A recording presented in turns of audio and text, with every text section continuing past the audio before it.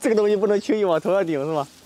这个呢叫卷叶吊兰，说白了呢，你看它与普通的吊兰在哪儿呢？它是这种叶子是弯的啊，呃，也叫什么叫叶尼塞亚女郎。很多的臭宝说这个东西怎么养？它其实跟吊兰一个鸟样。你光照好一点，啊，OK；你光照少一点啊，OK。但是怕什么呢？害怕水大。你像我们这个呢是比较干旱的，我可以给大家看一看。啊，这个不知道怎么给你能给你们打开吗？这个就是我们从一小盆养到这么大盆，也没来及换盆，它根系已经长得满满正正了。它里面的这个根系呢，特别的有有意思。哎呦，看到没？我拿出来了，看到没有？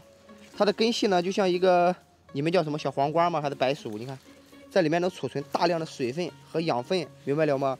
所以说呢，它是比较耐旱的。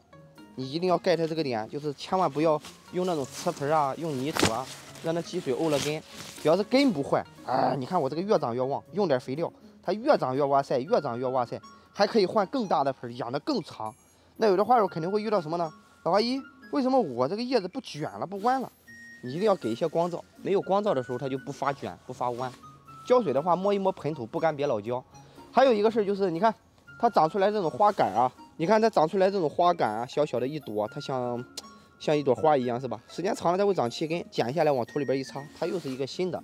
从小就可以逐渐养到大，特别的简单，耐寒能力一般，零下三度以下就完全给冻嘎了。所以说你一定要注意这个点，尽量的维持在五度以上，是吧？可以适当的给光照。如果说光照很好的话，适当的来多来点水和肥。如果光照不好的话，它叶子就直挺挺的那种感觉了，跟普通吊兰一样，要控制浇水和施肥了。希望能帮助到你，臭宝。